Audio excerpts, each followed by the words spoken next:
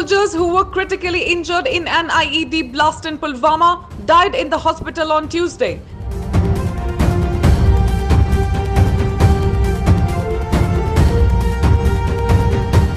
Six soldiers were injured when terrorists detonated an IED targeting army patrol vehicle at village Arihal, Pulwama in South Kashmir on Monday evening. Two civilians were also injured in the blast.